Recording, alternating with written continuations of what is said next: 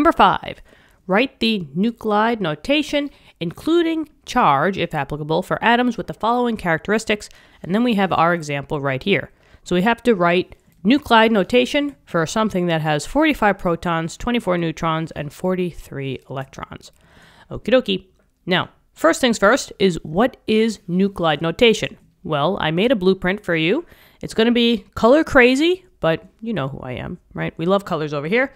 So the template is this. There's a maximum of four different slots that we have to write in.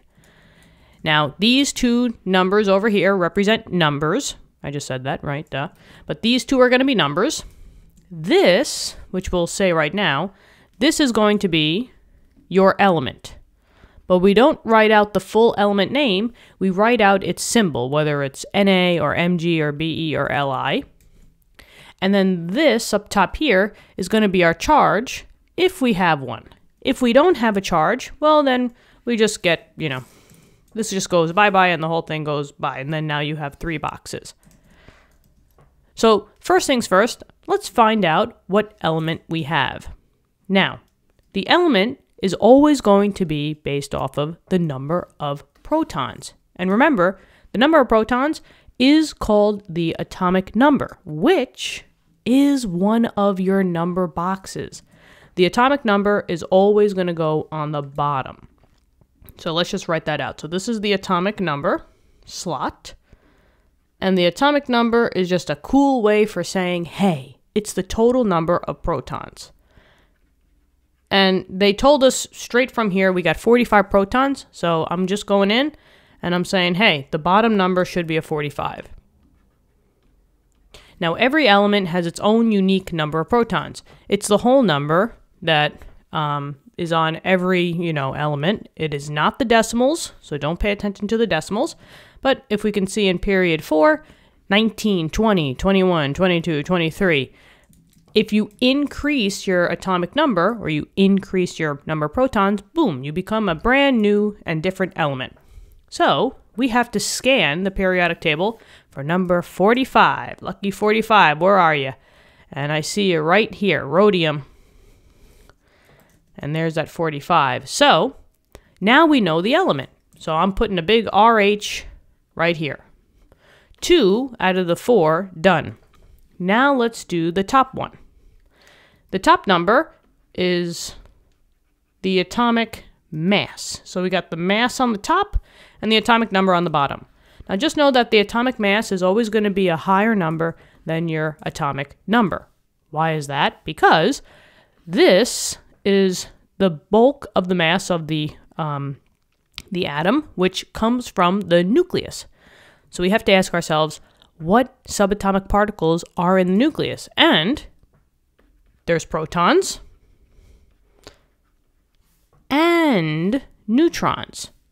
Keep in mind that, remember, the electrons are outside the nucleus um, because they're in orbitals and shells uh, revolving around the nucleus. So, we already know that we have 45 protons.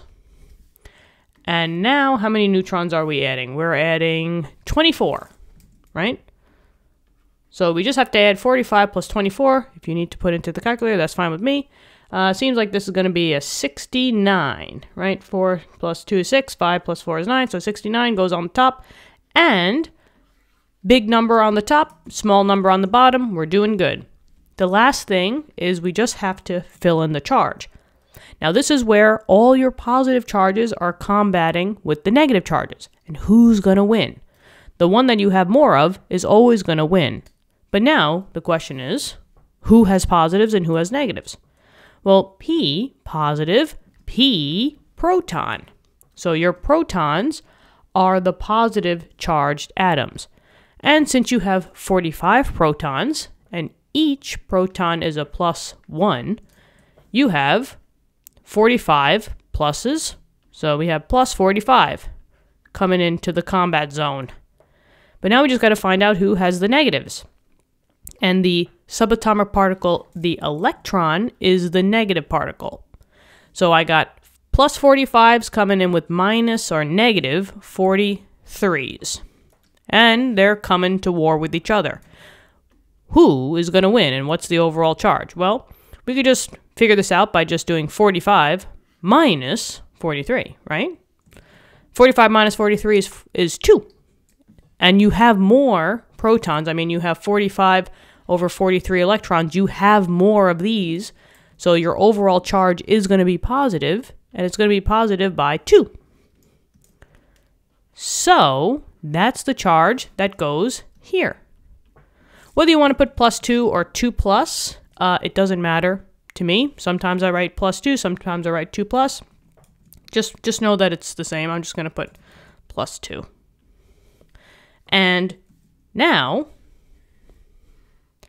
these are all done. So this is your full nuclide notation. 69 on the top for the atomic mass, atomic number 45. This is rhodium, RH, and then it's a plus 2 charge, and that is it. What'd you think? I hope this helped. Thank you so much for viewing the video. Subscribe to the channel if you haven't already. Tell your friends, tell your classmates, and uh, we also have memberships on the channel. If you if you want to become a member, that would be awesome. Um, yeah, four different tiers. So go check it out. And I will see you. Well, I'll talk to you in the next lesson. All right. Have a great day. Happy studying. Bye bye.